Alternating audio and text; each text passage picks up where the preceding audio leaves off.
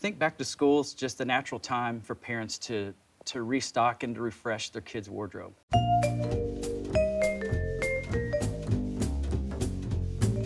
Bowling Green, Kentucky, home to the National Corvette Museum, Lost River Cave, and America's favorite purveyor of cotton, Fruit of the Loom.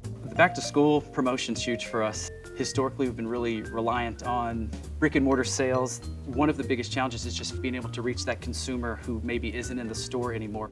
Fruit of the Loom was preparing for their annual back to school campaign. But this year, their goals would be a little different. With any of our promotions, we're really trying to be efficient. With this particular case, we wanted to deliver a 200% return on ad spend. Another goal we had was just to reach new consumers and reach them when they weren't in store. Together with their advertising agency, GSD&M, they'd tap into the power of programmatic data. GSD&M's been a great partner. They bring us new ideas and they really help us reach the right customers. The combined power of the Trade Desk and Walmart DSP helped us understand Fruit of the Loom's customer and how to reach them.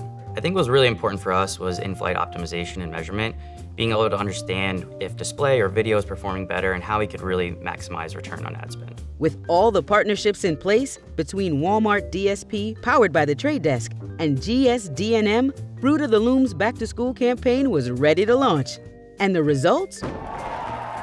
Working with the Trade Desk allowed us to reach consumers off-site where we traditionally could only target them on-site. Walmart DSP gave us access to first-party deterministic data that we couldn't access anywhere else. Having clear, definitive, actionable insights helps us push dollars in the right place to maximize performance. It's just to see what data we had available to us and what kind of audiences we had at our fingertips. But I think most importantly, the Trade Desk allows us to run effective campaigns in ways that we couldn't elsewhere. Historically, we've been done a really good job at reaching our brand purchasers, but working through Walmart DSP allowed us to really reach that new consumer through predictive audience segments.